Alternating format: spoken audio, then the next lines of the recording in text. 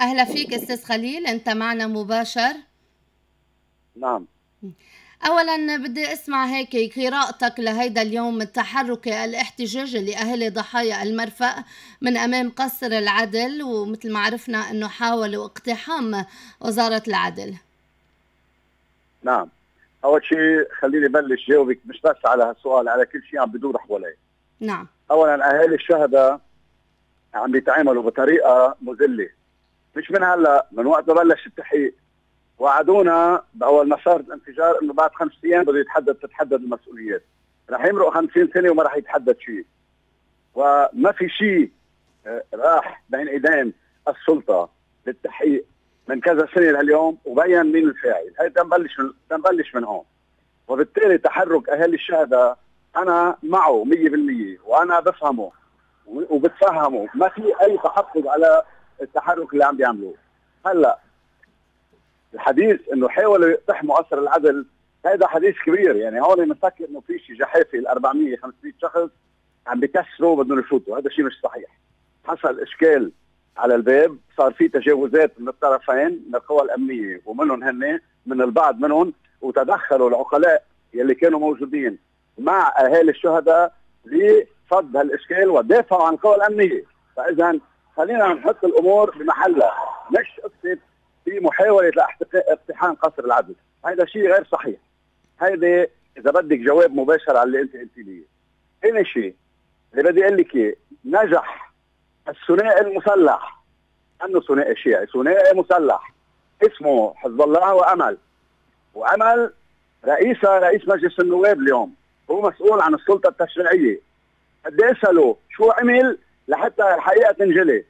شو ساعد الجسم القضائي ليقوم بالتحقيقات مثل ما لازم؟ شو ساعد النيابة العامة؟ ما عمل شيء عرقل. ولما نستدعي أحد وزرائه للتحقيق تحداهم بنص مجلس الوزراء وزير ثاني وقال له خلي حدا يسترجي يطلع فيه. وبالمقابل بيتوقف نون وبيتوقف غير النون وبيتوقف شو, شو هالمهزلة؟ ما عم بيشوفوا حالهم بالمراية هول الجماعه ما بقى في حياة معهم. أنا ما بحياتي حكي هيك على الإعلام. بس هو جماعة إذا طلعوا على المراية إذا بزقتي بوجههم بيوريك الدنيا عم بتشتت ضربوا ضرب السلطة التنفيذية انضربت. السلطة التشريعية مشلولة. كان في السلطه القضائيه السلطة القضائية أول شيء رئيس جمهورية ما مضي مرسوم التشكيلات القضائية. وثاني شيء استعمال القضاء بصورة خبيثة لعرقلة القضاء برعوا برعوا فيها. شلوه للقاضي بطار 13 شهر. وكان في محاولات دؤوبه لحتى يجيبوا قاضي نعجه خروف ويعمل حاله مش شايف شيء ويروح الملف مثل ما راح ملف الامام سليم مثل ما راحت ملفات ثانية هيدا أكثر من هيك شو بدي أقول لك بعد على الهواء. هودي جماعة قد ما تحكي معهم كانك عم تحكي مع الحيط.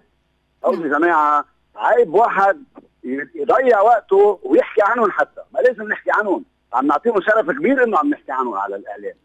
نعم. شو بدي أقول لك أكثر من هيك حضرة العميد اليوم المعركة القضائية بين القاضي بيطار والقاضي عويدات لوين رح توصلنا برأيك؟ أنا ما ما بحياتي إذا بتطلعي على ال...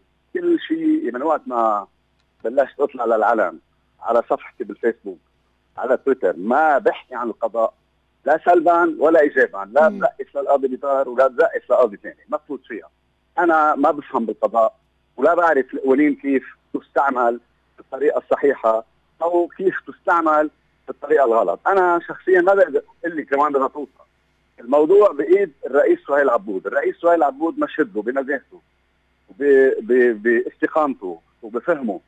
عنده مسار طويل عريض وراه. وعم بيواجه لوحده أو مع بعض الأعضاء مجلس القضاء الأعلى عم بيواجه منظومة يعني هاي الكلمة مش كلمة منظومة عم بيواجه الكل عم بيواجه الكل. الكل بده يمسح القانون الكل بدهم يحطوا ناس بمراكز يعملوهم مماسح إن كان القاضي بيطار ولا غيره. بدهم إياه ممسحه للقاضي كل شيء وسخ بدهم يمسحوه بالقاضي. لذلك الأمر يعود للمجلس مجلس القضاء الأعلى اللي كان المفروض ينعقد اليوم الساعة 1 مثل ما فهمت إنه لم يتم انعقاده. لأسباب ما بعرف شو هي في في مفاوضات في في في بعض التدخلات في في بعض ما إجوا ما بعرف. هذا اللي سمعته بالإعلام. ما عندي مصادر غير الإعلام. وغير بعض الشباب اللي موجودين تحت برا اللي ما بيعرفوا شو عم بيصير جوا. نعم. شكرا لك دكتور خليل الحلو عميد المتقاعد على هذه المداخلة.